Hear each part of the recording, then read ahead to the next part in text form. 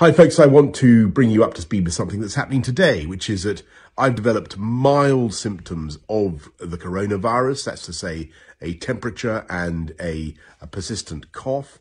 And on the advice of the chief medical officer, I've taken a test that has come out positive. So I am working from home. I'm self-isolating and that's entirely the right thing to do.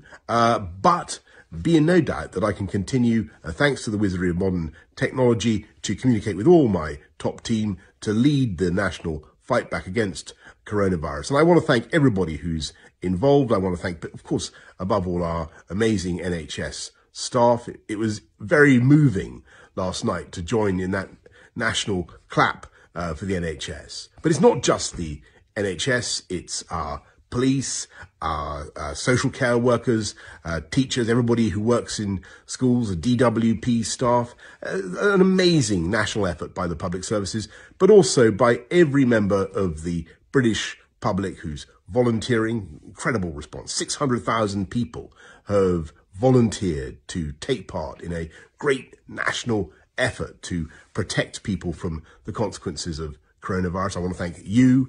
I want to thank everybody who's working to keep our country going uh, through this epidemic. And we will get through it. And the way we're going to get through it is, of course, by applying the measures that you'll have heard so much about. And the more effectively we all comply with those measures, the faster our country will come through this epidemic and the faster we'll, we'll bounce back. So thank you to everybody who's doing what I'm doing, working from home to stop the spread of the virus from household to household. That's the way we're going to win. We're going to beat it and we're going to beat it together.